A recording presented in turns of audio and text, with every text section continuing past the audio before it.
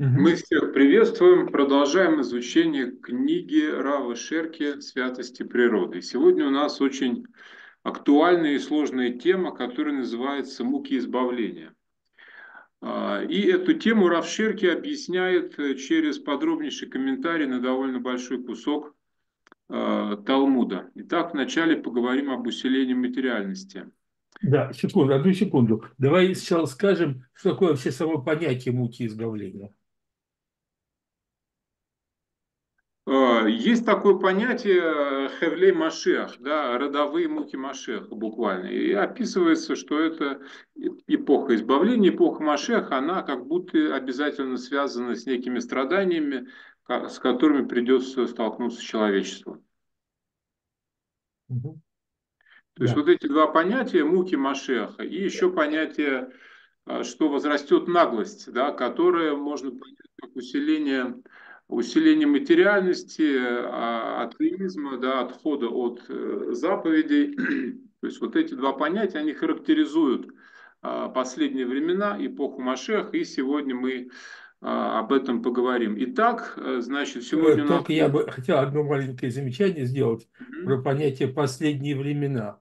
Э, вообще, как бы было такое представление, что вот эпоха Машеха – это последние времена – если сегодня у нас эпоха Машеха, то мы видим, что времена совсем не последние. То есть э, это, можно сказать так, что это начало завершающего этапа истории человечества. Но то, что этот этап может длиться еще много столетий, это совершенно несомненно. То есть э, последние времена настали, это можно сказать примерно в любом совершенно, э, так сказать, поколений, э, потому что они последние, в том смысле, что э, еще несколько сотен лет, ну, тысячу лет, то все будет хорошо. Но это просто, что они такие длинные, поэтому они последние очень относительно.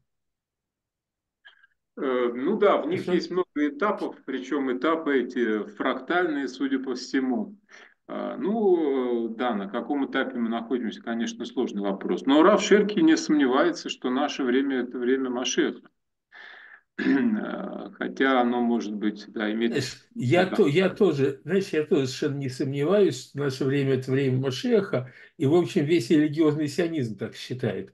Только я хочу сказать, что время Машеха, оно само по себе очень длинное. Оно может длиться э, много-много столетий. Вот это только надо учесть. Что не нужно думать, что время Машеха, оно вот прям есть настало, ну все, у нас сейчас последнее поколение. Оно сильно не последнее. Еще, ну, может еще быть, много столетий. Реально. Почему нет? А зачем? Я думаю, что еще много столетий. Судя, судя по состоянию человечества, нам еще предстоит много столетий работы.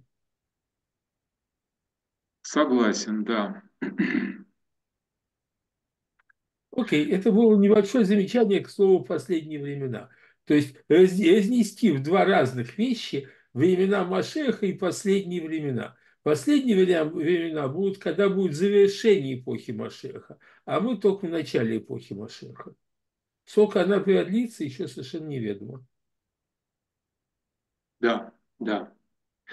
А, итак, сегодня у нас будет много Талмуда, а, и там идет подряд отрывок из Сангедрин 98б. Я его отметил синим, чтобы не путать с остальными цитатами. То есть мы примерно где-то а, половину страницы сегодня разберем с Божьей помощью. Итак, Сангедрин 98б, Талмуд говорит, «Сказал Ула, пусть придет, но я его не увижу». Имеется в виду Машех. И также сказал Раба, пусть придет, но я его не увижу. А Раби Йосиф сказал, пусть придет, и да удостоюсь я сидеть в тени навоза его осла. Итак, мы видим двух мудрецов эпохи Амараев, Ула и Раба, которые, к нашему великому удивлению, не хотят жить в то время, в которое мы живем. Как такое возможно? Это великие мудрецы Израиля, которые каждый день, конечно, молятся о приходе Машеха, при этом они не желают его увидеть. Вероятно, на это есть серьезная причина. А, это отрывок очень известный, но здесь стоит отметить несколько важных деталей. Во-первых, почему здесь идет повтор. Сказал Ула, пусть придет, но я его не увижу. Сказал Раба, пусть придет, но я его не увижу. На самом деле а, в Талмуде не принято перечислять имена всех, кто согласен или не согласен с приведенным высказыванием. Поэтому, если здесь повтор, значит, это далеко не случайно. И важно, что здесь а, сказано и также сказал Раба. Это означает, что причина, по которой Ула не хочет участвовать в избавлении, она отличается от причины раба. То есть это как бы удивление да, для тех, кто в теме, да, что вдруг раба говорит так же, как говорит Ула. А причина раба объясняется далее в тексте, потом мы ее подробнее разберем. А причина Улы не объясняется, но ее можно понять из э, того, что ответил Раби Йосиф на его слова. А, итак, сначала разберем а, Раби Йосифа, да, которое, утверждение которого позитивно, который хочет жить в эпоху Машеха, но почему-то в таком странном месте. Да? Почему э, место, где он хочет находиться в это время, это именно э, тень кучи навоза осла Машеха. А, прежде чем разобраться, что имел в виду Раби Йосиф, предположим, что а, Ула не хочет жить в это время как раз из-за тени ослиного навоза да, или из-за ослиного навоза. А, что такое осел, что такое его навоз? Осел это то, на чем едет Машех, то есть на чем он приближается. Тогда можно предположить, что осел Машеха – это процессы, приближающие избавление. А чтобы избавление продвигалось, необходимо интенсивное взаимодействие с материей. Невозможно построить государство, не осушив болото. Невозможно осушить болото, не собрав деньги на то, чтобы их осушить. Невозможно собрать, собрать деньги, если в народе нет э, сильных материальных стремлений к обогащению, к процветанию, да, которые ведут э, к увеличению количества денег, которые тогда можно вкладывать в осушение болот, в построение государства и так далее. Да. Без этого избавление не работает. И все вот эти процессы, материальные процессы, это и есть осел Машеха. Да. Кроме того, а, слово хамор, осел, да, оно похоже на слово хомер, то есть материя. Итак, а, вопрос только в том, а, какое значение мы придаем материальному. Нельзя сказать, что материальное – это зло. Такова позиция христиан, которые разделяют мир на духовный, материальный, э, духовный добро, материальное зло. А это не наша позиция. Мы не считаем материю как таковую святой, так же, как и а, абсолютно плохой. Поэтому мы должны сказать, что материя сама по себе нейтральна. И значение материи определяется тем, как ее используют. Можно использовать материю как во благо, так и во зло. А, ни один из мудрецов при этом не возражает против осла Машеха как такового.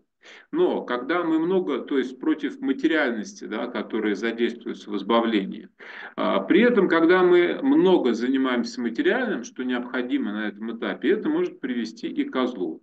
Это и есть как раз плохо пахнущий навоз, который исходит от осла. То есть вот эти побочки погружения в материальное а, и, соответственно, зло, которое от этого исходит. А, и, возможно, это как раз то, что беспокоит Улу, да, поэтому он и говорит, что не хочет жить в это время. А, и это то, на что отвечает э, Раби Йосеф.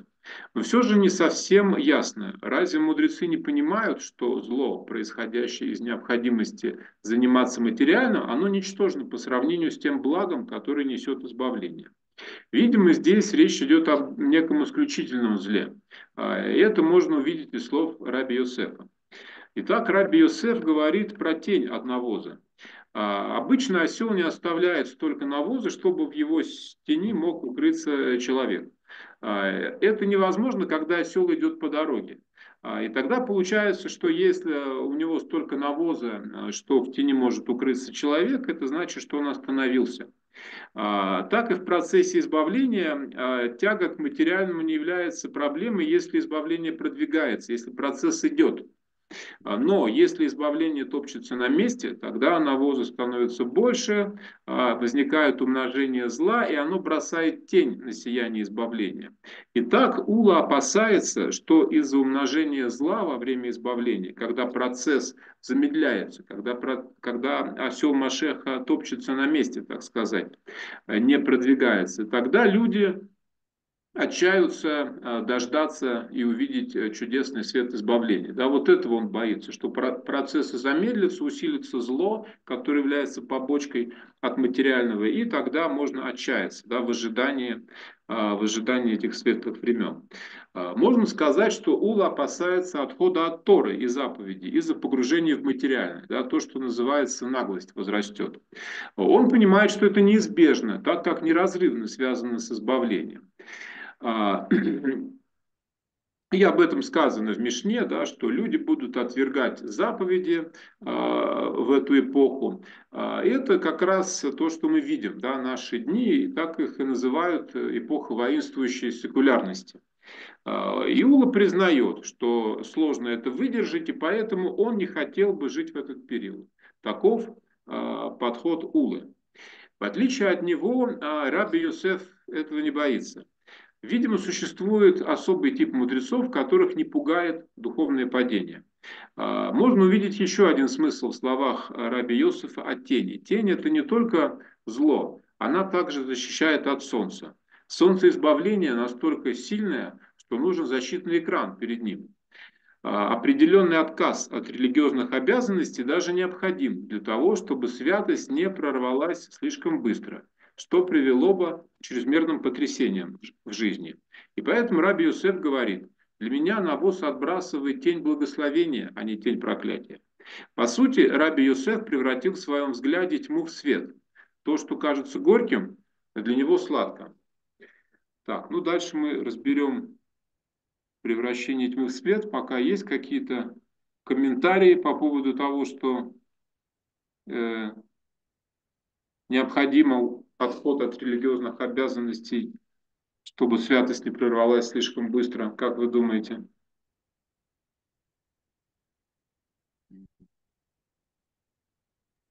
По-моему, все очень правильно, интересно. И можно добавить только, что, э, что э, почему святость не должна быть быстрой, потому что она сожжет. Это как свет, который увеличивается, чтобы его можно было увидеть, он должен быть постепенным. Если сразу из темноты выйти в свет, то можно ослепнуть. И вот это именно и есть постепенность э, мессианского процесса. Можно это объяснить тем, что если а, как бы избавление приходит быстро, то оказывается, что большая часть людей к этому не готова, и тогда они э, будут уничтожены. И поэтому Всевышний из милости замедляет этот процесс, чтобы больше э, людей в это включилось. Ну, включиться, наверное, должно даже не больше, а просто все человечество. Э, вот. Но я хочу сказать, что вот эта, ассоци... эта аналогия с тем, что если выходить из темноты в слишком сильный свет, то э, можно э, тут же сказать, потерять зрение, вот это именно. Что для того, чтобы глаза привыкли, нужно выходить из тьмы на свет постепенно. И вот это, мне кажется, хорошая аналогия, почему любой человек не может сделать это быстро. Просто потому что если даже физически нам это невозможно увидеть, и глаза не, не могут воспринять быстро, перестроиться на большое количество света, то тем более с духовной точки зрения. Но почему при, почему при этом надо отказаться от выполнения части заповеди? Нет, нет, это не то, что нужно отказаться, а отказ от выполнения части заповедей, э, он э, неизбежно идет и он является вот как бы этим экраном. То есть нет никакого, что нужно отказаться. Нам ничего отказываться не нужно.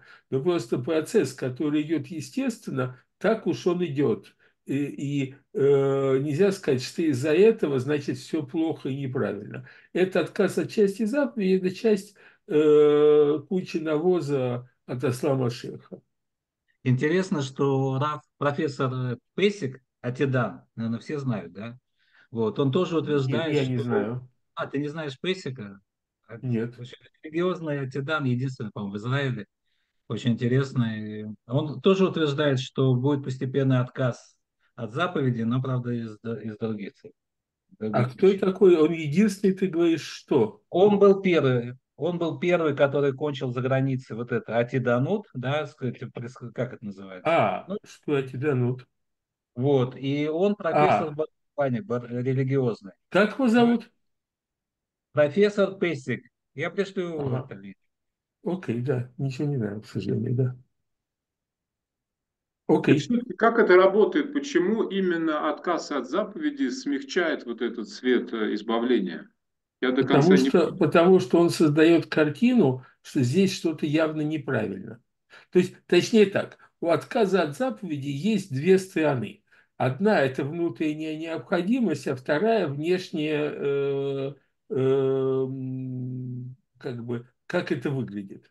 Внутренняя необходимость отказа от заповедей – это перестройка э, на совершенно другое понимание соотношения Тары, заповеди и всего прочего. И совершенно по-другому э, это должно быть перестроено в стране Израиля постепенно. Э, и это мы даже еще не знаем, как это будет перестроено. Это отдельно, это первый пункт. Но в любом случае это необходимо для внутренней перестройки. То есть э, это та идея, что из сосуда нужно вылить воду, чтобы его починить, и потом он наполнялся обратно. А внешнее Э, это создает вот эту самую э, затемнение света, то есть э, кучу навоза от осла Машеха, э, и этим оно э, э, уменьшает такой восторг, что вот как все хорошо, как все прекрасно, давайте же вперед. Не все хорошо, не все прекрасно, длительная дорога, длительная перестройка.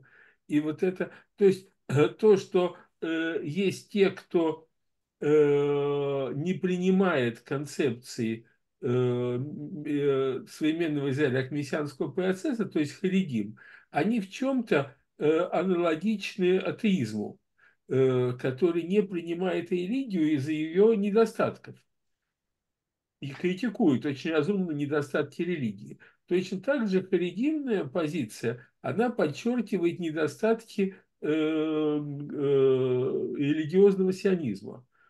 Э, и это очень правильно. Эти недостатки, они действительно есть, их нужно учитывать, и недостатки восприятия современности как мессианского процесса.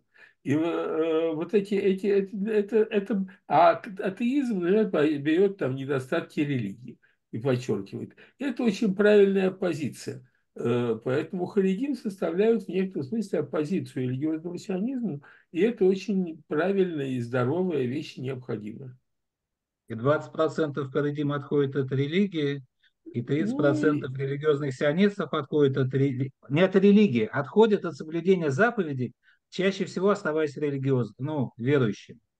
Ну, это, это, это да, это, то, что сейчас происходит. Это да, да, да, я согласен, согласен, да, да, да. Кстати, интересно очень, э, Миш, если у тебя есть точные цифры по, по сегодняшний день, а также, если есть цифры, сколько это было раньше, то это очень интересно посмотреть. Только действительно какие-то надежные статистические данные, что происходит, в каком возрасте, кем они становятся и так дальше. Это очень интересно. Я это тоже из, из лекции этого же Пессигас запомнил. Окей, ну если это можно, еще... ладно. В общем, э, все еще... данные, которые есть, такие можно опубликовать. Я думаю, что это очень правильно и полезно обществу нашему более широко это знать.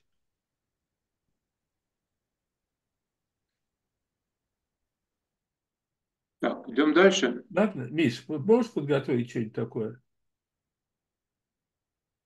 Миша? Я поищу, но не уверен, что найду. Окей, окей, если можно будет сказать. Спасибо большое. Итак, идем дальше. А, по сути, Раби Йосеф превратил в своем восприятии тьму во свет, а э, горькое для него кажется сладким. И это очень похоже на то, что сказано в предисловии книги Зор на четвертом листе. А, там описываются небесные ешивы, что у каждого праведника есть своя ешива. Есть также э, ешива у царя Машех.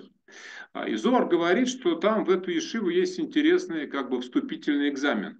А, чтобы быть принятым в Ешиву Машеха, нужно превращать тьму в свет, а горечь превращать в сладость. А, и тот, кто не способен это делать, так воспринимать, да, видеть э, хорошее в плохом, того просто не примут в Ешиву Машеха. То есть, чтобы одолеть тьму эпохи избавления, нашей, нашей эпохи, да, все плохое. Нужны люди как раз, которые способны видеть свет во тьме и превращать тьму э, в свет. видеть свет во тьме и превращать, собственно, тьму в свет. И видеть э, сладкое в горьком. А, Зор говорит, что одним из мудрецов, который мог бы войти в эту школу, был Раби Хия.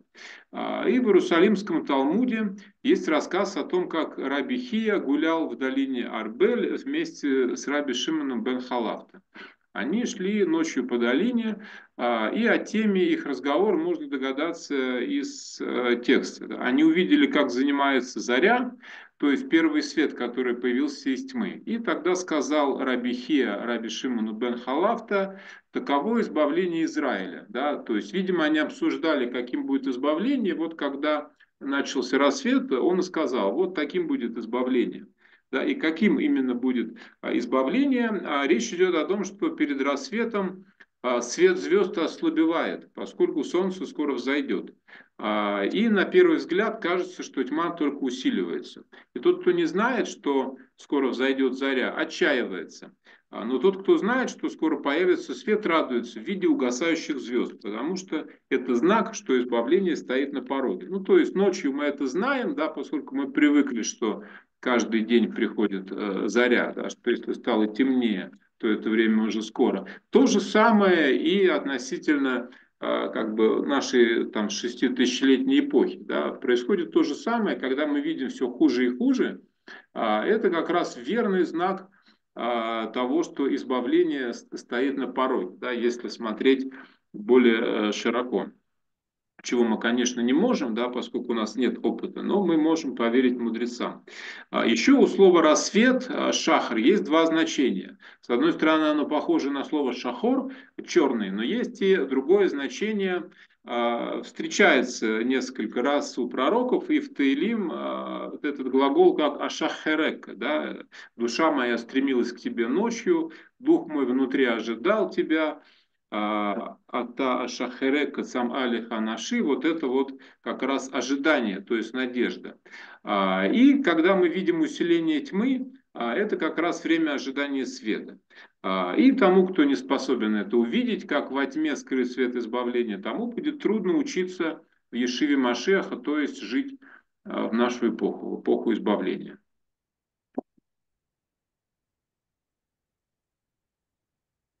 Если нет комментариев, тогда идем дальше. Э, я хотел сказать только секунду.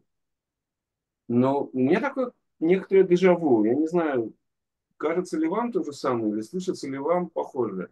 Все-таки такое ощущение всякий раз, когда евреи ощущают э, сложность ситуации, либо царот, как бы бедствие, всегда практически один и тот же как бы духовный подход или подход раввинов для того, чтобы объяснить. Грубо говоря, чем больше нас мучают, тем ближе освобождение. Но это объясняется как бы в разных словах, но как бы подход все время один и тот же. Я, я не вижу принципиальной разницы. разницы. Все время повторяется одна и та же самая тематика. Да? Один, один и тот же этот самый посылка из э, вот то, что сейчас прочитали что шли два мудреца, да, и вот они увидели перед рассветом, как сгущается темнота. И все время повторяется вот эта вот тема. Но как бы ничего нового в, в, в этом нету. Более того, мне кажется, в каком-то смысле, э, не знаю, это, не решение проблемы. Каждый раз, когда человеку тяжело, каждый раз, когда он не может объяснить, найти объяснение, ему говорят, это все нормально. Прежде чем э, наступит лучше, должно быть хуже. Ну, я не знаю, вас это удовлетворяет? Понимаешь, это не ответ э, полностью, это один из аспектов. Э, то, что стало хуже, это не значит, что потом сразу станет лучше. Э, можно, хочешь сказать, взять это, применить к разрушению второго храма и к, к восстанию Барков еще, да, вот еще хуже вот восстание Баркова все хуже, вовсе ничего не стало лучше. Я согласен. То есть, если это основа всего мышления, да. то это совершенно недостаточно и нехорошо, и мне не нравится. Да. Но в качестве одного из элементов при других совершенно аспектах, то это тоже немножко часть.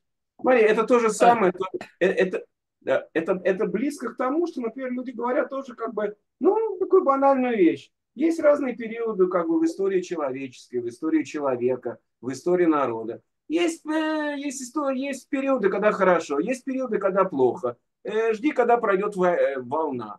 Ну, сейчас как бы дикая, сейчас мы жили 30 с чем-то лет в Израиле, да, такой, как бы, такого периода не было. Ну вот жизнь идет периодами, был как бы более-менее хороший период, да, были пигуим, все, но такого, как сейчас, такого не было. Но сейчас вот наступает как бы вот такой период, да. Ну, надо как бы переждать, потом начнется новое. Но мне кажется, это, я не знаю, правильно употребляю слово, нет, это, это тип оппортунизма на самом деле. Это, это не объяснение ситуации. То есть меня лично это ну, не удовлетворяет. Удовлетворяет, когда приходит человек и реально тебе говорит, вот сейчас ситуация А. Она произошла почему? Потому что до этого ей предшествовали Б. Наша ситуация уникальна. Когда тебе повторяют все время одно и то же. Ну ничего как бы здесь нового нету. И я, я как бы извиняюсь за то, что я это говорю, но у меня такое ощущение. Э, ты знаешь, я с тобой соглашусь в том, что, э, что само по себе это ничего не объясняет, и если это брать в качестве основного, то это мне тоже не нравится совершенно. Okay. Вот. Э, но, кстати, что э, за 30 лет жизни в Израиле нашей, да, да. даже больше, да, мы 35 да. уже лет с тобой. 38, э, да. 38, да, уже? Вообще 38, в 87-м. Ну да, да, да, да, да, да, да, совершенно верно. Ну, можешь да, округлить да. 40 лет в Израиле. Нас. Хорошо, хорошо, хорошо, я очень рад. Вот. Э, но э, я не думаю, что ничего такого не было. Например, когда было предыдущее столкновение с Ираком, например, на тему Саддама Хусейна, он был гораздо хуже. Э, ну хорошо, мы не будем сейчас это обсуждать, но как бы по общему мнению, то, что происходит сейчас и внутри Израиля, и снаружи, это беспрецедентная вещь, которая перекрывает э, Милтемет Ацмау. Это, это не мое. Ну, это ну, не мое э... мнение, но как бы расширять не будем. То, что происходит сейчас, вообще Знаешь, говоря, беспрецедентная. Знаешь, я, честно говоря, с тобой не согласен, с этим не согласен, но просто совершенно. Абсолютно. Мне кажется, что в 93 году, когда было э, Осло, и когда было в 2005 размежевание, было гораздо хуже. Гораздо я, хуже. Слушай, я не говорю, и, и оскол про реальность.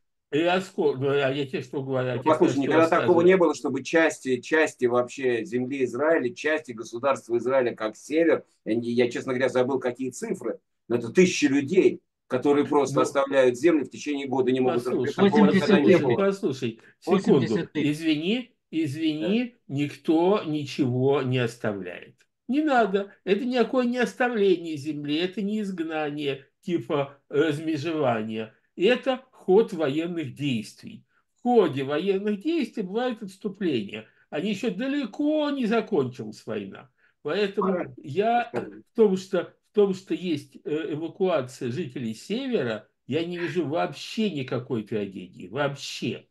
Понимаешь? Э, ну, изгнание... Послушай, что говорят эти люди, ты не видишь. Люди, которые Секунду. год не живут на этих местах. Для них трагедия. Секунду, ну ты мне говоришь, ну ты же несколько раз уже, правда? Ну да я отвечу. Да. Да. Э, разрушение и изгнание любого, так сказать, любого поселка в Иудее и Самарии это гораздо серьезнее. Потому что здесь власти против этого поселка. А на севере, да, это может продлиться год. Ну хорошо, у нас такой длительной войны никогда не было. И это я согласен. Это я согласен, хотя Ливанская война, по-моему, была ничем не, не короче. И там тоже постоянно погибали. Да, совершенно я согласен. Какие-то аспекты есть, которых не было. Но сказать, вот это небывалое событие, север обезлюдил, мы отдали территорию. Никому ничего не отдали это все нагнетание, да согласен, что люди так говорят, что это нагнетается СМИ. Это чисто нагнетание истерики. Больше реальности этого совершенно нет. Неправильно совершенно. Ну хорошо. Ну, секунду, моя оценка ситуации. Ну, мы уходим сейчас от темы это самое. Да. Хорошо, да.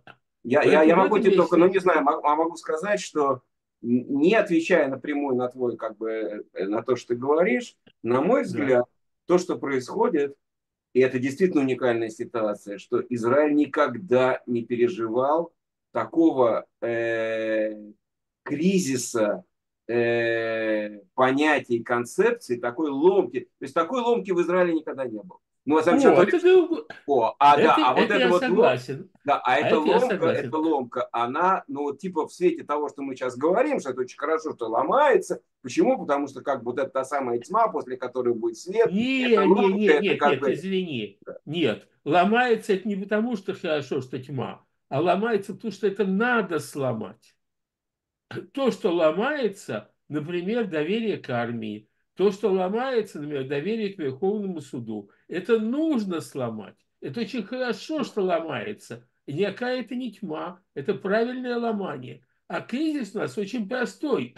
Потому что раньше левые вели наступление, а правые оборонялись, а все СМИ были на стороне левых и помогали вести наступление. А сегодня правые пытались сделать наступление, а левые пытаются обороняться. И все СМИ, и все истеблишмент на стороне левых. Юридические советники, и богатств, и СМИ. И поэтому кризис кажется больше, чем он был. Больше ничего. Эм, в 2005 году и 1993 году кризис был гораздо хуже. Только криков таких не было. Потому что, потому что мегафоны были не у нас, а у я думаю, что крик, крик, я думаю, что как мне, как, как я чувствую, основной кризис – это кризис э, секулярного сионизма, основные цели и идеи которого, или как бы э, мировоззрение, на котором было построено вообще государство Израиль, а именно как часть э, цивилизации западной, как часть народов мира, эта концепция рухнула. Все, и с моими разговорами с Хилоним бесконечные, они все время, это самая главная проблема для них okay. и для нас тоже, что Израиль опять возвращается в нечто подобное на гетто, но только с армией, с Салем и в рамках как бы большего, большей рамки, чем просто Кейла или там э, где-то, когда жили в местечке. Но, в принципе, ощущение такое, ты изгой. Все, и с этим надо жить. Вот это вот, для, для меня, может быть, это не проблема, но для огромного количества населения okay. Израиля это огромная проблема. Это я согласен. Это я согласен. Это тема для обсуждения. Да, Очень окей. важная. То есть, видишь, мы согласились по двум пунктам, что такое объяснение, что темнота не нравится ни тебе, ни да. мне, и что есть общие проблемы кризиса, которые нужно обсуждать. Прекрасно. Большое достижение, мы редко соглашаемся. Нет, почему? Мы часто. На этом курсе. А, а на этом курсе. Окей. Ну хорошо, идем дальше. По жизни наоборот, часто соглашаемся, на этом курсе да. редко. Ну, очень хорошо. Прекрасно. Так, ну теперь да. как раз э, глубже погрузимся в эту тему, которую сейчас обсуждали. Итак, до сих пор мы обсуждали позицию Улы, да, которая беспокоится о духовном падении народа. А, а дальше как раз обсуждается позиция раба, да, о которой там идет диалог с его учеником Абаи. А, итак, дальше Абая, да, ученик раба, спрашивает, в чем причина, да, он пытается понять, почему раба не хочет э, видеть Машеха. И выдвигает версию, да, может быть из-за Хевлей Машех, из-за родовых мук Машеха, то, что называется как раз страданиями. Да, что такое родовые муки Машеха? И Раши поясняет, страхи и беды, которые будут в те дни от армии народов. А, итак, а, А, то есть речь идет не о духовных проблемах внутри еврейского народа, а о бедах, которые придут извне, от народов мира. А это бедствия, которые предшествуют избавлению, подобно тому, как родовые муки предшествуют рождению. Да? То есть это немного другой как бы этап внутри эпохи Машех, это есть некий предшествующий этап. Э, то есть, чтобы родить избавление, нужно пройти через э, этап ужасного бедствия, которое обрушит на евреев народы мира. Это и есть родовые муки Машеха. А, эти муки упоминаются также в книге пророка Даниэля, где говорится, «И восстанет в то время Михаил, князь великий, стоящий за сынов народа твоего, и наступит время тяжкое, которого не бывало с тех пор, как стали народом, и до этого времени». То есть накануне избавления, накануне народ Израиля постигнет ужасные бедствия. И сказано далее у Даниэля. «И в то время спасется народ твой, всякий, кто найден будет записанным в книге». То есть не каждый будет избавлен, но кто будет записан в книге. Что это значит? Чтобы понять это, возьмем еще один стих из э, пророка Ишая. А, и будет оставшийся в Сионе и уцелевший в Иерусалиме святым назовется. Каждый записанный для жизни в Иерусалиме. То есть записанный в книге означает записанный в жизни в Иерусалиме. Это значит тот, кто будет жить в земле Израиля в то время. И они не пострадают от этого бедствия. А значит, то бедствие, о котором говорит Даниэль, происходит за пределами земли Израиля. А, отсюда следует, что раба боялся катастрофы.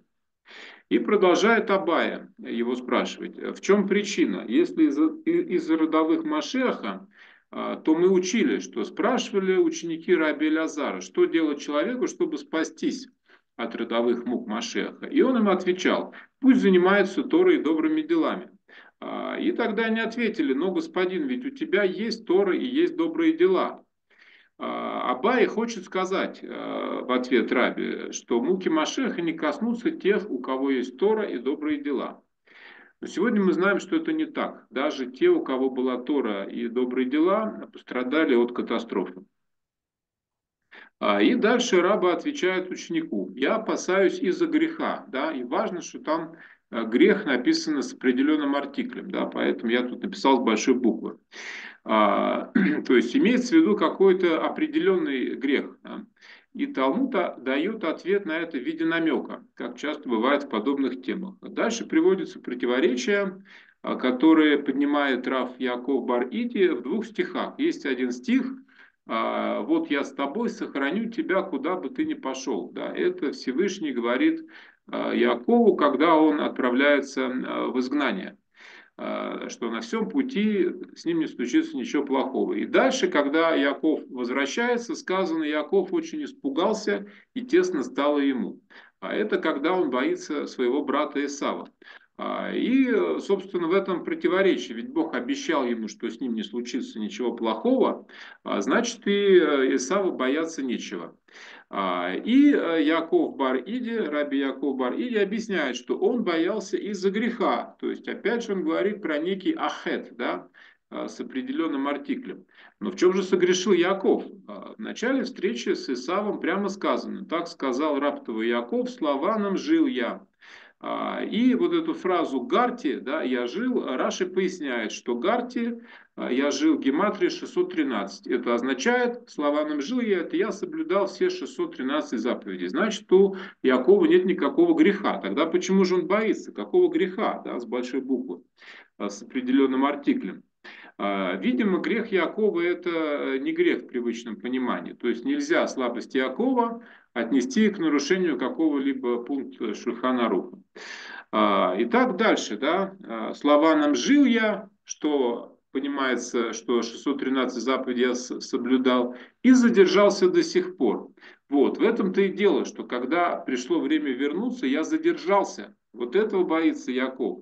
Бог дал э, Якову знак, что пора возвращаться в землю Израиля, когда родился Йосеф как мы читали, было, когда родила Рахель Йосефа, сказал Яков Лавану, отпусти меня, я пойду в свои места, в свою страну. Да, какая связь э, Йосефа, да, Равширки пишет, что тут есть гематрия, да, Йосеф, а это даже гематрия как Сион, то есть это как бы какие-то э, отголоски сионизма, да, возвращения на землю. А и когда родился Йосеф, Яков понял намек, что надо, надо возвращаться, и при этом он медлил 6 лет, да, выращивал овец.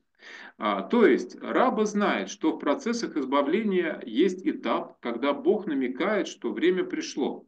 Есть декларация Кира, есть декларация Бальфура. Именно на этом этапе, когда начинается избавление, а, тогда возникает опасность который называется «И задержался до сих пор».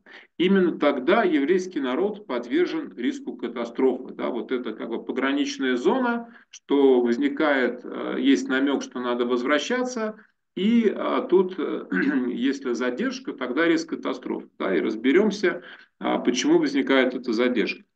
Получается, что катастрофа – это не наказание за грех, а некий закономерный результат процессов избавления, хотя, впрочем, не обязательный.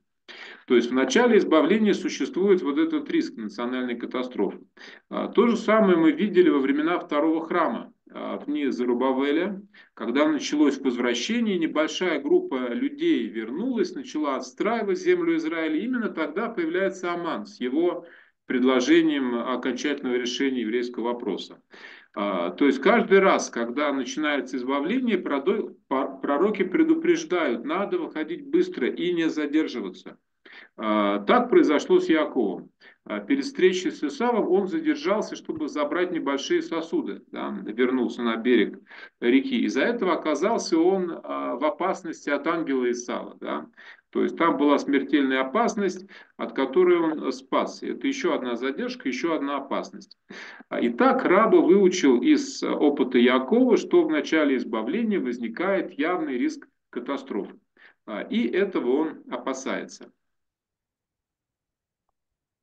но если раба знает, в чем опасность, э, тогда он знает, как ее избежать. Как только начнется избавление, сразу нужно ехать э, в землю Израиля. Тогда ему не о чем беспокоиться. Тогда почему же он говорит, пусть придет Машех, но я его не увижу. Да? Если он знает, все просто, придет Машех, надо ехать, и все будет нормально. Да? Но, видимо, раба понимал, что и он может задержаться в начале избавления. Ведь нельзя сказать, что Яков задержался без причины. Яков не был э, настолько материалистичным человеком, чтобы задерживаться ради овец. Но он задержался, поскольку знал, что у него есть двойная миссия а, в изгнании, да, у Лавана, где он был. Первая – это построить семью дома Израиля, то есть родить 12 сыновей. И вторая – это привести овец. Да. А овцы – это важнейшая часть а, изгнания, да, цель изгнания тоже считается. Овцы имеется в виду это Э, духовные э, искры, да, за которыми выходит Израиль в изгнание. А это как раз одна из целей вывести то, что называется рахуш гадоль, да, большое богатство от народов мира. И это прямо сказано, когда Всевышний э, обращается к Аврааму, пришельцем будет потомство твое в земле чужой, и после выйдут с большим богатством. Вот это большое богатство, под этим подразумевается культура, а, культура народов мира, в которой содержатся искры святости, рассеянные среди народов, и которые нужно а, то, что называется, отсортировать и включить святость. А, Яков знал, что искры святости Харана находятся именно в овцах Лавана. И он очень хотел, чтобы его изгнание было последним. Если бы он забыл у Лавана хотя бы одну овцу, ему пришлось бы вернуться туда снова. Поэтому он задержался, а задерживался именно да, для того, чтобы не возвращаться. Такая как бы сложная и неоднозначная ситуация. То есть каждый раз в конце изгнания мудрецы Израиля понимают, что пришло время собрать из народов последние искры святости, которые находятся у них. И когда начинается избавление, будь то декларация фараона, декларация Кира или декларация Бальфура, всегда есть искушение сказать, что, может быть, еще не собраны все искры, а, и тогда возникает э, задержка и, как следствие, риск катастрофы. Итак, Раба понимал, что в начале избавления он тоже может впасть в этот грех. Не по злому умыслу, а из-за того, что невозможно знать точный момент, после которого нельзя больше задерживаться. И поэтому он сказал, пусть придет, но я его не увижу. Так, Пока есть какие-то вопросы? Это очень как бы серьезный такой получился вопрос, что Яков знал, что это ему придется там вернуться или там понимал. А э, мы сейчас не знаем ничего такого, понимаешь? Можно сказать, конечно, это интуитивно происходит э, у людей, но э, в общем, э, про Якова объяснение хорошее, а про э, выход из изгнания, когда там Тир или когда Бальф, декларация Тира или декларация Бальфа, то это какое-то объяснение не самое лучшее. Потому что, мне кажется, все-таки те, кто задерживается в изгнании, э, очень трудно сказать, что они задерживаются, чтобы вывести все искры. Ну, например, скажем, э, религиозные в Польше, э, там было несколько миллионов человек, и они э, не захотели поехать, когда их уговаривали, и Раф Цвигуда к ним ездил, э, и другие э, э лидеры. Они э, в 20-е годы совершенно не хотели сдвинуться. Э, и я не думаю, что это имелось в виду, что они там должны дособрать э, иск э, святости из Польши, понимаешь? То есть это объяснение хорошее для Якова, но оно не очень подходит все же не очень подходит для других эпох, вот для современности, например. Понимаешь, те, кто как раз были совсем не религиозными, можно сказать, там, что они дособирали иска. И то это, как бы, в общем, очень э, проблематично. Э, были те, кто в Америке собирал иска, и совершенно их это не затронула никакая катастрофа. И, э, а, а в Польше, наоборот, они никаких исков особенно не собирали. Они жили внутри еврейского общества, совершенно не так уж сильно э, общаясь с мировой культурой. Э, то есть не общались, конечно, с поляками, окружающими по, так сказать, э, экономическим, бытовым или каким-то там политическим проблемам. Даже партия была в Сейме еврейская на выборах. Но я не думаю, что они там собирали сильно много искр. Не, ну тут об этом и говорится, да, что причина катастрофы, потому что не все вышли, да, потому что задержались. Да, но вопрос-то почему задержались? Вот это объяснение, что задержались, чтобы собрать искры, оно мне не нравится. Не, ну собрать искры это было, там можно сказать, осознанно у Якова, да, насколько это было осознанно у евреев Польши, наверное, вообще нет, да, но тут говорится, да, что какой-то принцип в подсознании народа, есть э, такое понятие, да, что, а вот, может быть, может быть, еще не время, да, что есть какой-то последний момент, да, когда уже, если мы выйдем, то мы уже не вернемся, да. Опять же, исходя из того, что Яков... В общем, я сомневаюсь в таком доводе. Сомневаюсь. Мне не, не очень это нравится. Михаил, а что вы тут написали такое интересное?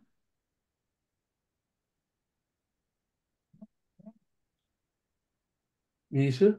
Написал, я написал, чтобы не забыть, сегодня есть как раз урок Шерки, Рава Шерки и Рава Навона, вот, в 8.30, если кто, и он бесплатный. В принципе, да. я записан на его платные уроки, а сегодня будет э, еще дополнительно бесплатно. Если Рав Навон это очень, очень, очень да. интересный очень, очень. очень интересные уроки его, да. Так, а ты не мог бы кинуть это? А, ты кинул это в я это кинул. самое, да? да. Да. Э, записаться. Кинь, э, что-что? Записаться надо, там линк, надо записаться. Ага, понял. Понял, да, очень интересно. Я не проверял, Спасибо. у меня это из-за... Просто дело в том, что когда мы закроем эту сессию, то никаких линков не останется, понимаешь? Доступ э, к линкам. Я Надо могу сейчас WhatsApp. Эм, да, вот, я, лучше, я могу скачать лучше, чат. Секунду, я могу скачать секунду. Чат лучше, да. Нет, нет, нет. Если ты можешь в Facebook кинуть это сообщение, комментарий к Фейсбуку, тогда это останется всегда и у всех желающих. Хорошо, хорошо. То есть я сам сейчас кину. А нет, я не могу. Кинь, пожалуйста, ладно? Угу. В трансляцию, вот даже нашу сейчас трансляцию. Угу. Спасибо. Спасибо. Угу. Так, идем дальше. А, вернемся к Талмуду. Дальше Талмуд э, приводит цитату из э, «Песни на море». «Пока не пройдет народ твой, пока не пройдет народ, который приобрел ты». А, и Талмуд объясняет, что здесь речь идет о двух входах в землю Израиля. Один, когда вошли во времена Иошуа Бенуна, второй, когда в дни Эзры пока не пройдет народ твой, это первое вхождение в времена Иошуа Бену, но пока не пройдет народ, который приобрел, это второе вхождение. И отсюда следует, что Израиль был достоин, чтобы сделать для него чудо во втором вхождении, как и в первом, но этому помешал грех. В чем был грех? А, в период второго храма, во времена Эзры, в том, что не все вернулись в страну. И это доказывает наше толкование, э, что Раба знал, что в будущем он будет среди тех праведников, которые могут задержаться в изгнании по идеалистическим причинам. И поэтому он боялся катастрофы. Итак, мы рассматривали, э, рассмотрели подходы двух великих мудрецов э, эпохи Амараев, Улы и Рабы. И каждый из них опасается избавление по разным причинам. Ула опасается воинственной секулярности, массового отхода от соблюдения заповедей, а араба опасается а, внешней опасности, то есть катастрофы от армии народа. А, и теперь перейдем к диалогу Раби Йоханана и Рейшлакиша, который идет там дальше. А, итак, э, в продолжении дискуссии Талмуд рассказывает о третьем мудреце, который боится избавления. А дальше написано, также сказал Раби Йоханан, пусть придет, я не увижу. То есть Раби Йоханан тоже не хотел бы жить в наше с вами время. Как раз от него мы это меньше всего ожидали. А что же пугает Раби Йоханана? Секулярность? Вряд ли. Раби Йоханан не переживал по поводу духовного падения народа, потому что он умел видеть особый свет в каждой душе Израиля. А это видно из того, что он вернул к Торе великого разбойника своего поколения э, Рейш Лакиша. Может быть, Раби Йоханан боится катастрофы? А, тоже вряд ли. А, Раби Йоханан знал, что катастрофа это за пределами земли Израиля, а он был неразрывно связан с землей Израиля, и в Талмуде есть множество высказываний Раби Йоханана, показывающих его великую преданность земле. А, дальше сказал ему Решлакиш, в чем причина? Да, теперь Решлакиш тоже начинает своего учителя спрашивать, почему он не хочет жить в эпоху Машеха. А, э, и Раби Решлакиш предлагает еще одну версию, да, еще одну причину бояться избавления, и она связана с проблемами в государстве Израиля. А, это безопасность, вопросы территории, социально-экономические трудности. Возможно, Раби Йохана напугают вот эти трудности повседневной жизни, политические проблемы. И этому удивляется Рейш Лакиш. А, он приводит цитату из пророка Амоса, как если бы кто убежал от льва и столкнулся с медведем пришел домой, оперся рукой о стену, его укусила змея. А так пророк Амос описывает э, эпоху избавления, да, довольно в мрачных красках. А, и Рэш Лакиш говорит ему, я покажу тебе пример этого в мире. То есть он хочет сказать, что вот эти проблемы, да, там шел, столкнулся с медведем, убежал, там столкнулся со львом, там или наоборот. Он говорит, что это бывает и в наше время, и во время изгнания, так что нет особых оснований для беспокойства. А, и приводит пример. А, когда человек выходит в поле, встречает Сантара, это похоже на встречу со львом. Что такое Сантар? Раша объясняет, это чиновник, который знает границы полей и может э, увеличить или уменьшить размер чьего-либо поля. Это подобно встрече со львом, да, когда земледелец встречает э, чиновника, э, который говорит, это не ваша земля, вы обязаны ее вернуть. То есть лев это проблема территориального характера. Да? Лев, который там может откусить кусок, имеется в виду здесь кусок земли. И это подобные проблемам, которые существуют в современном Израиле. Время от времени политические деятели требуют отдать территории. Говорят, это не ваша земля, вы должны это вернуть. Да? И поэтому э, ученик Раби Йоханана говорит, «Э, ничего страшного, да, бывает и сейчас, бывает и в изгнании. То есть проблемы территории не волнуют Раби Йоханана. Э, то же самое встреча с Габаем, да, это сборщик налогов, а, это намекает на экономические проблемы государства Израиля. И Решлакиш говорит, что этого тоже бояться нечего, у всех есть экономические проблемы. Вошел в дом, нашел сыновей, умирающими от голода, имеется в виду социальные проблемы, это подобно укусу змеи. А, если так, то все эти проблемы не должны беспокоить Раби Йоханана. Должна быть другая причина, и Талмуд а, приводит ее. И дальше Талмуд приводит э, стих из Еремии. Распроси и смотри, разве может мужчина родить? Почему же я вижу всех мужчин с руками на чреслах, подобно роженице? Почему лица всех побледнели? А, пророк Еремия описывает процесс избавления, и вдруг в середине описания процесса избавления он описывает нечто ужасное. Лица всех побледнели, то есть все а, внезапно столкнулись с некой проблемой. А, Талмуд продолжает, что значит э, «раити коль гевер», я вижу всех мужчин. А, сказал раба Бар от имени Рава Миша коль гвура шело, да, по созвучию слов коль гевер всех мужчин, он говорит, что это указание на того, которому принадлежит гвура, да, вся сила, то есть на Всевышнего. То есть даже Бог в будущем столкнется с этой проблемой который возникнет во время избавления. А, а что значит лица всех побледнели, сказал Раби Йохан, это небесная свита и земная свита. Небесная свита это ангелы, земная свита это Израиль. То есть ангелы-служители, Израиль и Всевышний все столкнутся с некой внезапной проблемой и не будут знать, как ее решить. А, дальше. А, что это за проблема? В тот час, когда скажет Святой Благословен Он, эти мои создания и эти мои создания. То есть это Израиль и народы мира, и те, и другие создания Всевышнего. эти мои создания и те мои создания, как я могу уничтожить от них ради других. Да, это говорит Всевышний, это та проблема, с которой все столкнулись. И на это Талмуд дает объяснение. Сказал Рав Папа, а, это подобно пословице. Вол бежал и упал, хозяин заменил его лошадью.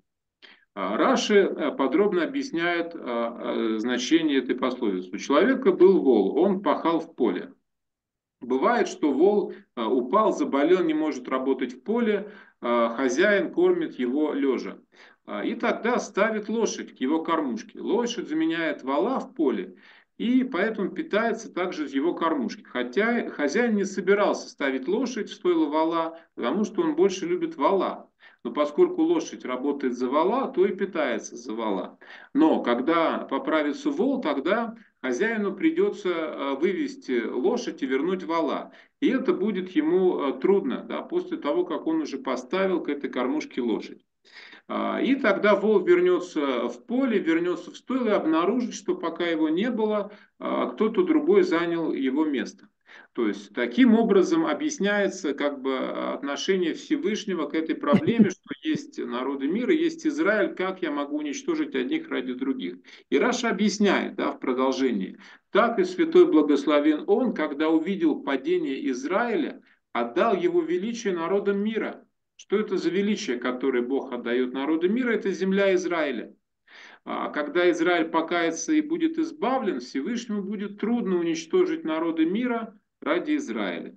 То есть, поскольку Бог отдал честь, э, оказал почесть другому народу, дал ему землю Израиля, то когда Израиль возвращается на свое место по полному праву, э, то у Бога как бы возникает моральная проблема, как избавиться от другого народа. Потому что это тоже его создание. Это здесь сказано об этом. Эти мои создания и те мои создания, как я могу уничтожить одних ради других.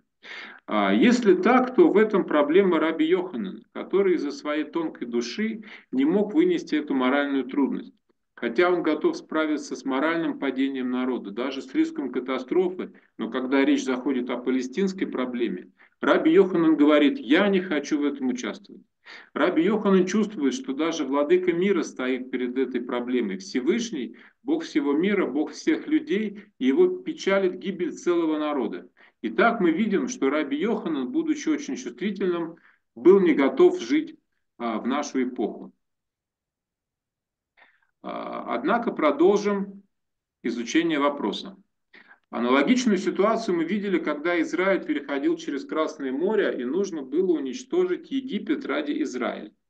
А, сам Раби Йоханан в трактате Мегила говорит, что ангелы-служители собрались петь, и Бог сказал им, мои творения тонут в море, а вы поете.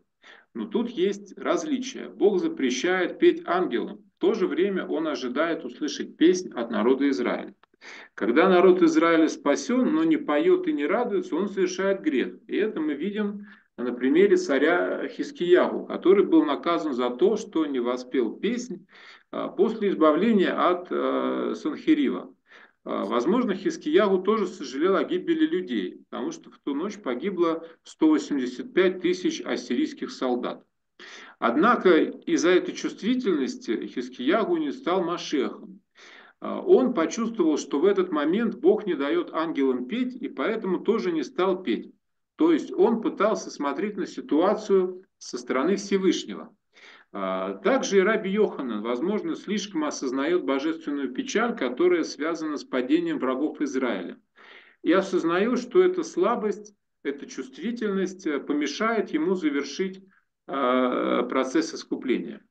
А, на основании этих источников из Талмуда, да, история с, э, с царем Хискиягу, да, и про вала и лошадь, да, мы можем предположить, что у Всевышнего есть своего рода Э, Смоланут Шельмала, то есть левая фракция на небесах, да, леволибералы, которые э, всех любят и которые как бы в конфликте э, принимают сторону слабого. Склонность любить все стороны конфликта присуща Всевышнему, поскольку Он создал всех.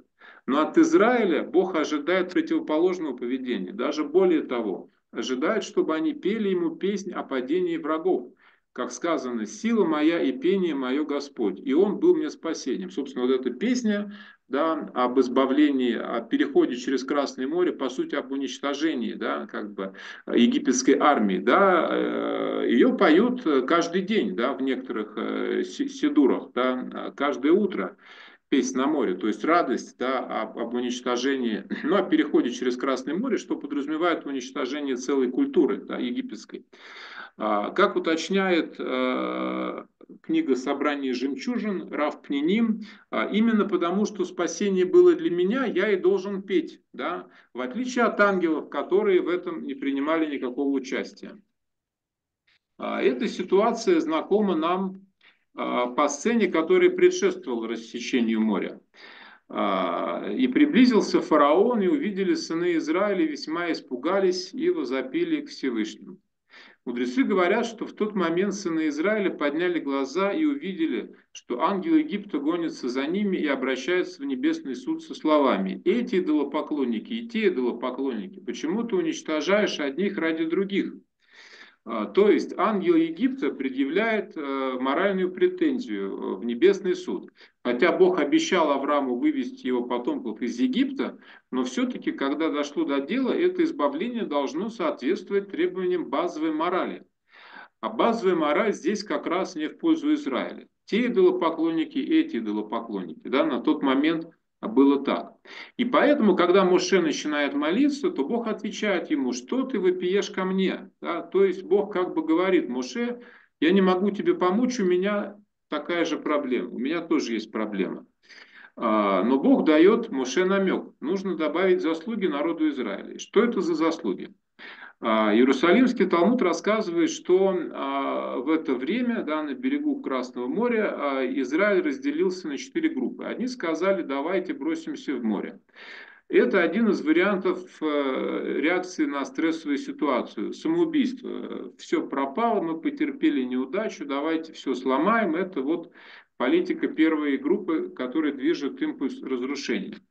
Вторая группа сказала, вернемся в Египет. А, это как раз, что э, сионизм потерпел фиаско, не дай бог, у нас не получилось, но слава богу, у нас есть а, прекрасная диаспора, которая нас ждет. У меня есть двоюродный брат в Нью-Йорке, еще тетя в Касабланке и так далее. Да, вернемся туда, все будет хорошо, как раньше. Третья группа говорит, пойдем воевать. У нас есть сильная армия, еще э, не потеряна надежда, применим силу, ответим войной на войну. А, и четвертая группа говорит, будем молиться. Наша сила, наша речь, Всевышний поможет, будем читать псалмы, трубить шафар, звать Богу, и так спасемся. И вся эта сцена разыгрывается в то время, когда фараон преследует Израиль. Да? Уже армия фараона приближается, а евреи занимаются публичным диспутом. А, и Талмуд говорит, все эти варианты плохие. В них э, ничего не добавляет заслуг еврейскому народу, потому что это все естественная реакция на опасность. А, естественно, сражаться, естественно, убегать, э, молиться или там бросаться в море, поэтому здесь нет никаких заслуг. Поэтому нужно было найти другое решение. И Талмуд рассказывает э, в трактате Сута, что Нахшон бен Аминадав прыгнул в море, но не для того, чтобы утонуть, а для того, чтобы его рассечь. Когда он увидел, что необходимо принять решение, он стал действовать, ориентируясь по, по обстановке. Его оружием стала не военная сила, а вера. А, это такое выражение, да, ликбоа овдот башетах, то есть, насколько я понимаю, когда а, как бы нет выхода, нужно э, сделать какое-то действие, которое ситуацию изменит и появятся какие-то другие опции. Да? Вот это вот то, что сделал Нахшон бен Аминадав. Э, в такой безвыходной ситуации, когда догоняет фараон и евреи там э, устраивают публичный диспут да, с четырьмя вариантами. И вот это действие Нахшона бен Аминадава э, напоминает то, что мы видели сто лет назад, когда группа еврейских студентов из Харькова Э, молодежной организации Белу, э, которые никогда в жизни э, не приказались к мотыге, они приехали в землю Израиля и сказали, мы это народ Израиля, который возвращается на свою землю. Вот эта небольшая группа харьковских студентов, они говорят, мы народ Израиля, мы приехали, берем в руки мотыгу, начинаем возделывать. И они сказали это с верой, и этой верой они сумели рассечь море. Отсюда мы учим, что в ситуации, когда мы не можем сделать выбор между быком и лошадью, между эти создания мои и эти создания мои, нужно просто, что называется, ликбоа увдот башетах, да, совершать какие-то действия, которые изменят ситуацию, совершать их с верой. А, еще один караван. Караван, это имеется в виду вагончик, да, в которых живут поселенцы, когда у них нету, а, нету жилья, когда нет разрешения на жилья. Еще одно укрепление, еще одно захваченное а, там несколько метров территории, еще одно поселение. Все это прибавляет заслуги, которые склоняют чашу весов истории в сторону народа Израиля. Однако, если решение известно заранее, то чего боится а, Раби Йоханан? А, вероятно, Раби Йоханан боится, что не будет никого, кто прыгнет в море, кто сориентируется на месте. И поэтому он сказал, а, пусть Машех придет без меня. Так, есть какие-то вопросы, прежде чем двинемся дальше? Значит, ну, у меня скорее комментарий. Хотел... Сейчас, Юра, Юра, секунду, э, Пинхас. Э, да, Юра, мы тебя слышим. Да, да, да. да, у меня такой комментарий, по-моему, очевидный. История про вала и коня очень напоминает христианскую теологию замещения. Да, мне тоже напомнило, но э, как и многое, да, что христиане взяли из Талмуда, но там говорится, что в принципе другой народ заменяет Израиль, а здесь говорится, что на время дана им земля.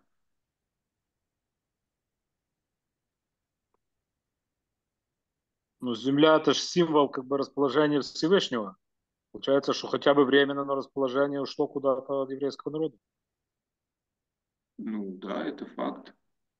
Ну, э, в общем, это какая-то сложная вещь, честно говоря. Я бы это, э, я сейчас не готов это обсудить, это надо отдельно как бы обсуждать.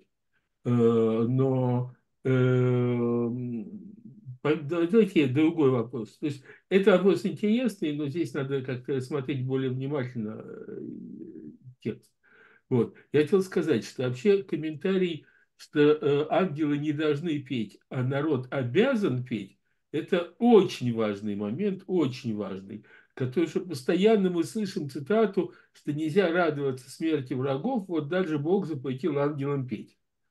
Поэтому, если можно, это все, вот, это, вот этот кусочек э, распечатанный, э, держать отдельно и даже прислать. Ну, вообще сейчас Он, все время, сейчас все время цитировали, ну то есть не цитировали, обсуждался как раз вопрос после этих двух успешных ликвидаций, это посук из э, Мишлея. Ну, я приблизительно скажу, Альтисмак бы мотой веха. То есть не радуйся при падении врага твоего. Okay, вот, это, okay, да. вот эта фраза из Мишлея, которая все время повторялась. Окей, okay, это можно обсудить, но тем не менее это очень важно. Значит, э, Андрей, если можно прислать, ладно? Э, Хорошо, я записал. Ну, кстати, ладно, у Рава Шерки был ролик, как раз где он разбирал вот это аллахическое. Да, да. Окей, да, да. окей, окей, да, да, это первое.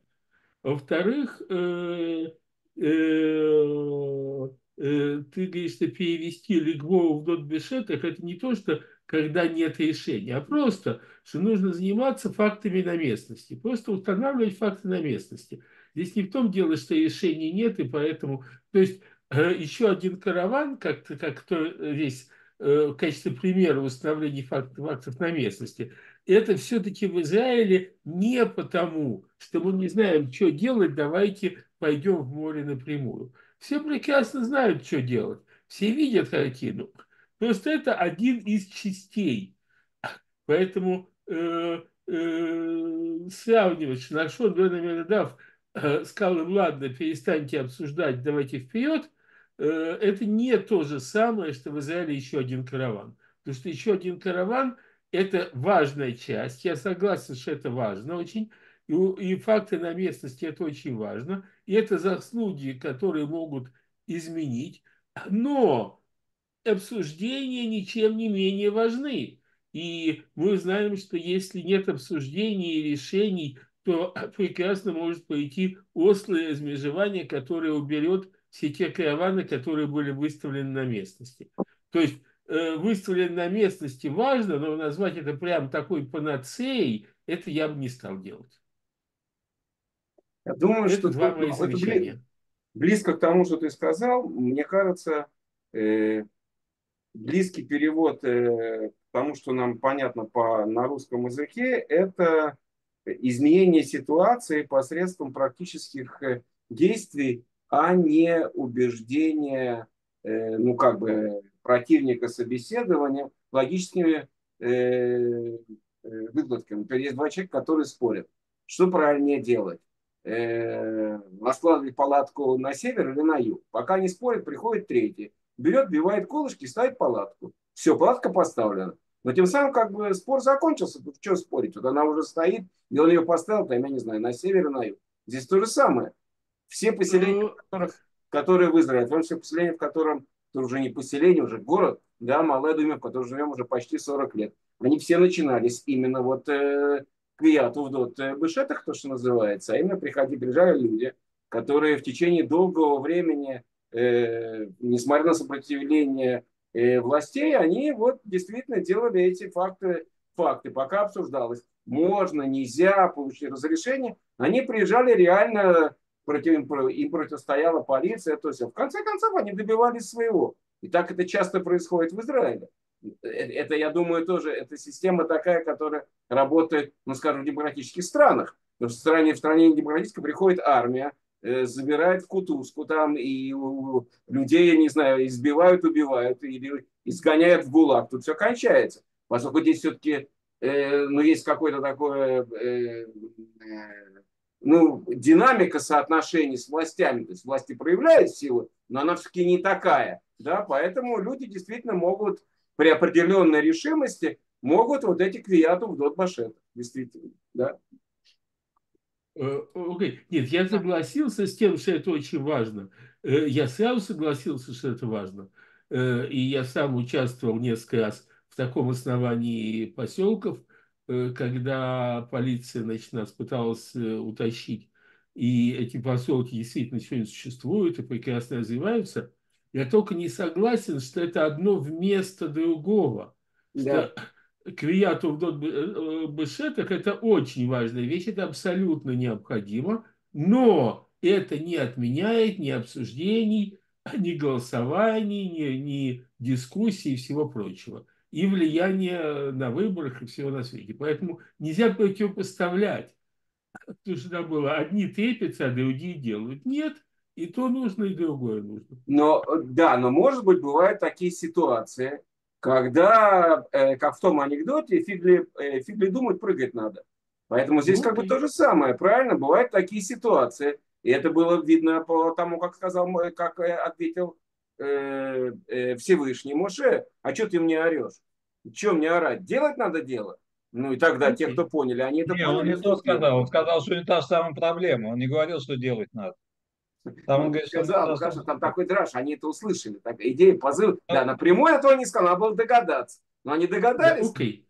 Там ну, вообще непонятно. Миша, Миша Можно... сказать, Миша, да. да, да, да вообще непонятно, что значит уничтожить вот там на море народ ради другого народа, эти идолопоклонники. Никто не собирается там народ уничтожать. Уничтожить народ, это если одни сидят на земле, а вторые на другой земле, и один уничтожает, чтобы второй мог туда прийти. Здесь эти гонятся, чтобы убить. Это не уничтожение ради, э, сказать, э, одного народа. Это, да, это остановка правильно. народа, чтобы он не убивал, как бы. Это совсем ну, да, другая. Это не народ, это его армия. Я с тобой согласен. Но и армия, и народ, неважно, э, неважно даже кто. Но как бы ситуация не то, что кого-то уничтожают ради другого народа.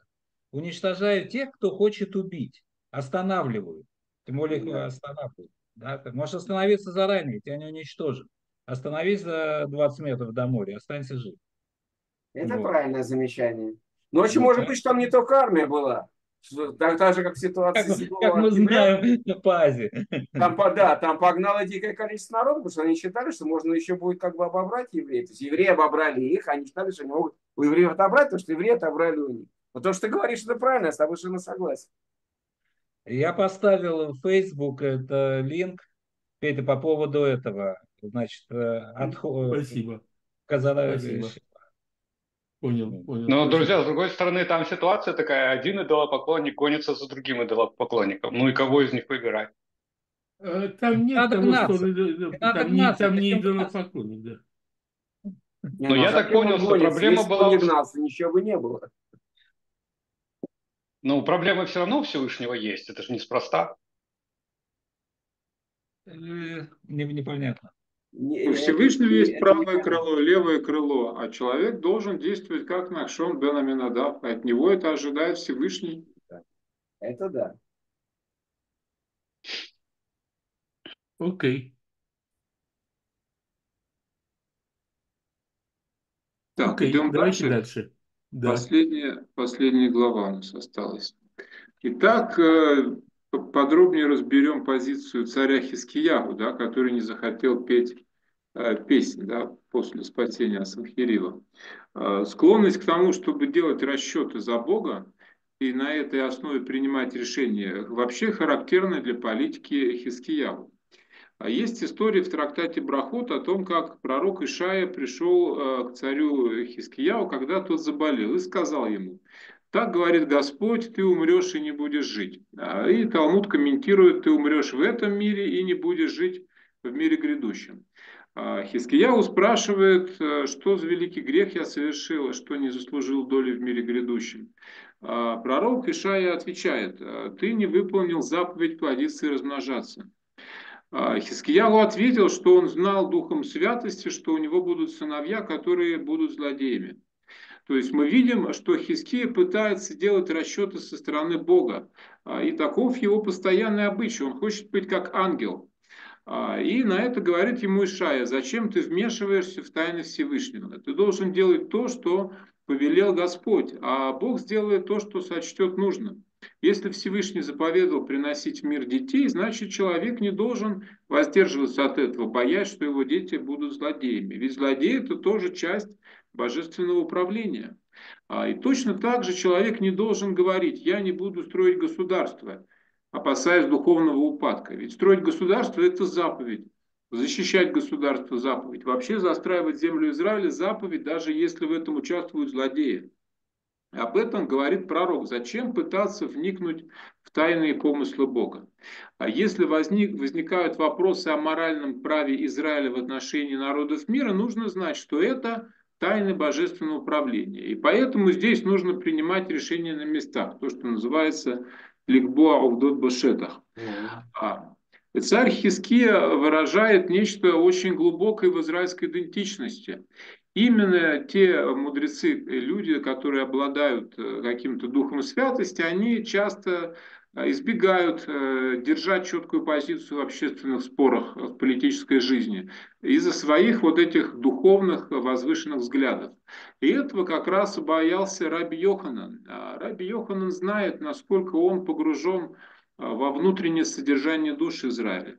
А он также знает, что когда возникнет необходимость принятия решения конфликте Израиля с другим народом, тогда он будет видеть внутренние аспекты божественного а, проведения. То есть слишком глубоко смотреть да, со стороны вот этой Всевышнего любви ко всем, и поэтому он говорит, что я не хочу жить в это время, да, я не хочу вот эту проблему э, решать. Итак, заключение. А, мы увидели мудрецов Амараев с разными взглядами. Амараи, которые боятся воинствующего атеизма, амараи, которые опасаются э, катастрофы, амараи, которые боятся э, внутренних проблем государства Израиля, и амараев, которые боятся палестинского вопроса. А И все они говорили, пусть придет Машех, но я его не увижу. То есть не хотели жить в эпоху избавления, в наше время. И владыка мира услышал их молитвы, и они не увидели государство Израиль. Но у нас живущих во время избавления, нет особого выбора. Мы уже не можем сказать, пусть придет, а я его не увижу. События подгоняют нас. Уже не мы подгоняем время, а время подгоняет нас. Поэтому у нас не осталось выбора, кроме как э, работать с проблемами, стоящими перед нами, и принимать решения на местах. То есть раздвинуть море, как это сделал Нахшон бен Аминадав. У меня все. Да. Э, замечательный совершенно отрывок. Вот про рождение детей. Тоже, если можно мне его потом поискать в качестве отдельности, отдельного отрывка, тоже это, в общем, стоит того, что отдельной публикации. Замечательно. А э, в целом все, по-моему, прекрасно. Миша, Можно ты поднял руку. Да. да, да, да, да. Да, конечно. Мне кажется, это то же самое, что было в предыдущем э, отрывке о моральном праве Израиля в отношении других народов и тайном божественном праве. По-моему, такая, такой вопрос просто еще не возникал. Израиль только обороняется и только отвечает, что сделало бы любое государство. Тут нет какого-то, значит, тайны божественного управления. Мы, к сожалению, только защищаемся и только отвечаем. Поэтому любой, любой бы народ на месте Израиля сделал бы так же, если не хуже. Ну, в смысле, не, не хуже, а не, не более активно. Поэтому вот это постоянно, как бы, что существует некое моральное в отношении народов, постоянно было предложение мира, постоянно было это, и ни разу, по-моему, еще Израиль, может быть, кроме 56 года, я просто эту историю не очень хорошо знаю, не был как бы активен в изменении каких-то прав или нарушении прав каких-то народов. Вот да, это, это очень, очень, правиль, очень правильное замечание. Мне кажется, что его надо здесь добавить. Что э, после добавь в текст, Андрей, если можно, это тоже важный комментарий сюда добавить. Спасибо. Э, к тому, что добавил э, Миша, очень правильно. Мне кажется, ну, как бы я, я говорю такой вульгарной фразой, но тем не менее, вообще вот общее ощущение такое, что так же, как евреи жили э, в диаспоре в Галуте, ну, как бы идея такая с фигой в кармане. В том смысле, что ты понимаешь, что ты э, правее, то есть право и мораль на твоей стороне. И что народы тебя мучают, на самом деле ты прав. Но ты не можешь им этого сказать. И тот же самый переносит в государстве Израиля. Мы живем с фигой в кармане. Почему? Потому что мы не можем, не можем стукнуть рукой по столу и сказать, эта земля, она дарована Всевышнему э, Израилю. Посмотрите комментарий Раши к первому, к первому суке в Библии, который вы считаете тоже своей книгой.